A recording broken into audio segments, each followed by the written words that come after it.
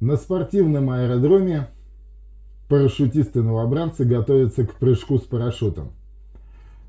Один из новобранцев подходит к конструктору и говорит, знаете, я очень переживаю, что мой парашют не раскроется.